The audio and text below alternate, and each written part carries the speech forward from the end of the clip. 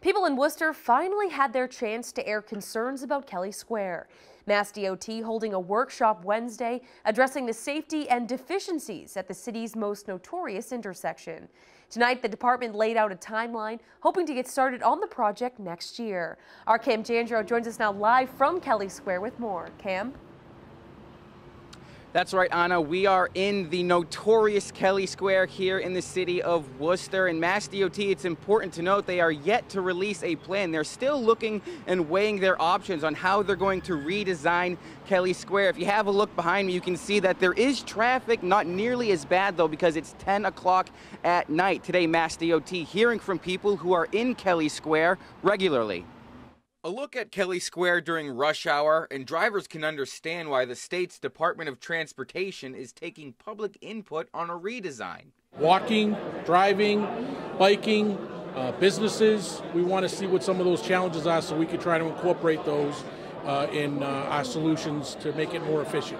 The intersection will be redesigned as part of the deal to build a AAA baseball stadium nearby. Potential improvement ideas include traffic signals, geometric changes, a roundabout, or even changing the direction of the current streets.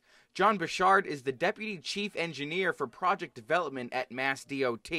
He says the state had eyes on this project before the city got the PawSox. Once we started looking collected, collectively at all of the accidents in the area, it kind of bubbled up and said, look, this is something they all work together and they, we need to try and solve as many as we can and make it you know safer for all users. Wednesday, people shared their thoughts and actually drew out possible solutions on maps of Kelley Square. You definitely need some type of coordination. So it's got a bad reputation for being a dangerous intersection, but it's not dangerous, it's congested.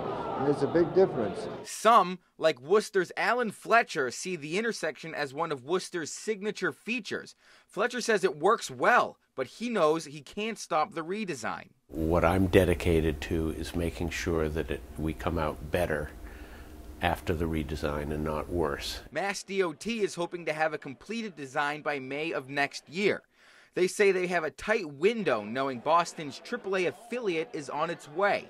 Baseball team's a factor that we're going to be, you know, incorporating into our traffic model, but uh, you know, we're just trying to get things done as as quickly and as efficiently as we can.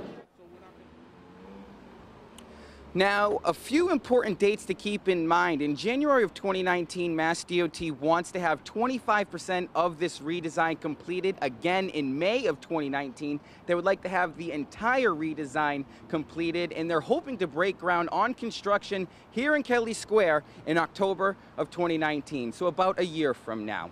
We're live in Worcester tonight. I'm Cam Jandrow, Worcester News Tonight.